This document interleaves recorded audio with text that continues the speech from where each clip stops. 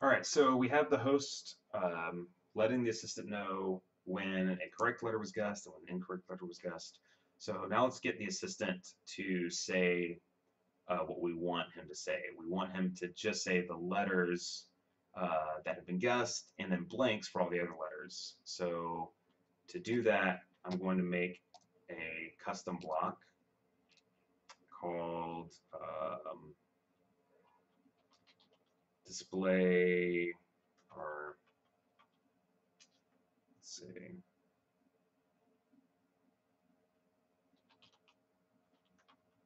Ah, get word progress. Get word progress. All right sure. Um, and let's make it for this sprite only. We only want the assistant to be able to um, display um, this word so I'll make it a looks block. it's a reporter. Um, all right, so in this block, what we want to do is,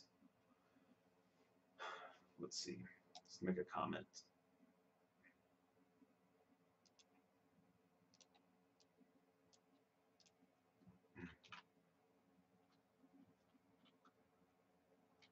We need to construct construct a word that replaces each letter of our secret word that has not been guessed by the user with an underscore, which looks like that. Okay, uh, if the letter of the word has been guessed, then we should fill it in. Okay. So what do we need? Um, we need our secret word in here. Um, but we need our secret word list because we want to be iterating through each letter of the word. So I'm going to use the secret word list instead of just the secret word. Um, we need the guessed letters list. So we need that. Um, and eventually we need to report back this constructed word. So we need a script variable, and I'll just call it constructed word. That's what I've been using. And we're going to report that back at the very end. Okay, um, so now what we need to do is iterate through our word. And our word is throbs. And so we want to start with the T. All right, so has, has the user guessed T? And in this case, I have. I've guessed the letters A and T. So I would uh, put T into my constructed word. Then I move on to the next letter, H. Uh, has the user construct, uh, guessed H? No. So instead of putting in an H, I would put in an underscore. So at this point, the word would be T underscore. Uh, same for R. No, haven't guessed it. So T underscore underscore. Then O, haven't guessed it, so T underscore underscore underscore, and the rest of them are actually the underscores at this point. Um, so we're going through each item of that, or each letter of that word at a time, so we're going to need a repeat block. And actually I'm going to import tools, because there's a handy block down here for I equals 1 to 10. So this is just going to uh, help me iterate through with a counter, basically. Um, so for i equals 1, yes, we want to start with the first letter, and then we want to go to the length of our secret word list. So length of secret word list. Okay, so this should be T H R O B s, so 6, so this should go from 1 to 6, and that is represented by the variable i inside of this for loop. Um, so we want to actually, yeah, that's fine. So what we want to do is join, join, and we want to set our, not our secret word, we want to set our constructed word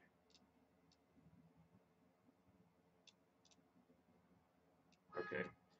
Um, so we're going to want to set our constructed word to the addition of the constructed word and the next letter or underscore, depending on whether or not the user has guessed that letter. Okay, so we're going to need an if else.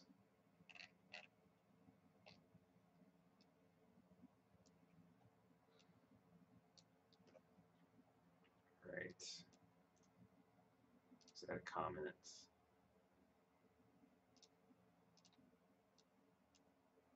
I want to attach it right there.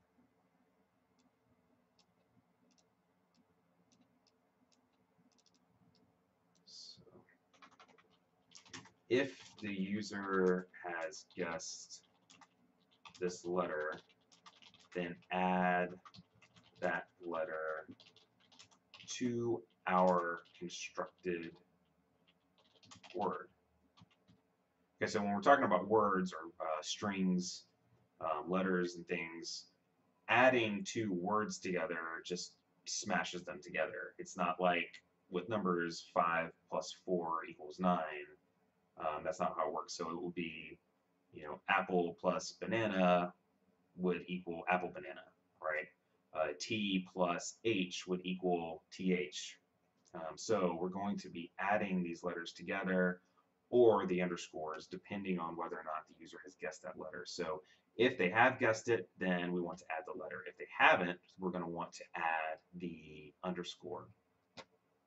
Um, so we're going to set our constructed word to the addition or join of our constructed word and the letter that we're looking at, which would be the ith letter of our secret word list. So if i equals 1, then we want to take the first item of our secret word list. So to do that, we go to the variables tab, and there is item, and we want to use I here. So the item I of our secret word list. Okay, and so then we would get out of this and go to the next uh, letter. So we would start at 1, which would be T, and since I've guessed T, it would add T to our constructed word. We're going to come back through with H, the second letter, um, and since that's not there, we would we would miss this and go down here and we want to join instead of the letter we'd want to join an underscore and I'm putting a space on either side of that so that it doesn't look like one long line so space underscore space um, alright and so what we need is the logic here of does sh should we add the letter or should we add the underscore? And again, that check is has the user guessed it or not. So we want to know if um, if our guessed letters contains the ith letter of secret word list. So I'm just going to duplicate this, put that there.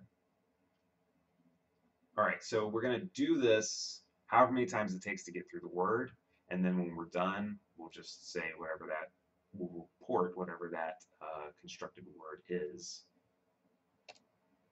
Okay. And so instead of saying secret word, when a letter is guessed, a correct letter is guessed, we're going to use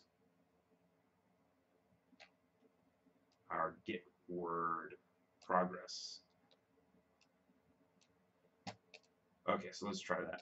Um, so pick a letter, and again, this only works when I pick the correct letter. So I need to pick one more correct letter. So let's do the letter O. All right, something happened.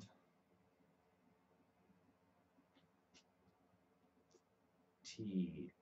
Let's I don't know where the zero is coming from. So let's go back over to the assistant. Edit. Oh. All right. There's a zero because variables default to zero, and we're not setting it as anything else. So we need to set at the beginning of all this constructed word to nothing.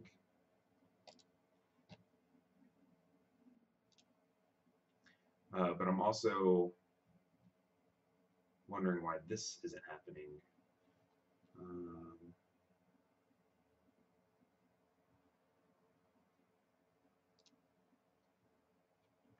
let's replace this with a star and see if that shows up. All right, another one. Uh, it's got to be a, it's got to be right. So let's do D. Okay, so for some reason the underscores aren't showing up, but uh, so there we can see we have one, two, three, four, five, six letters, which is correct, and of those six, we've guessed the T, the O, and the B. All right, so if we guess something wrong, uh, like uh, Y, Aha, so we don't want to do that. We want to probably just not say anything. We don't want to change what he is saying. Instead, we want to tell the hangman to draw another another part of the hangman. So we want to broadcast. Um, we'll broadcast draw next part and we'll deal with that later. So let's go back to the host. We'll pick a correct letter this time. Um, R. Okay. Uh, and then we'll pick a wrong letter just to verify that we won't overwrite what we've already put in there. So do U. And we've added all of these to our list here.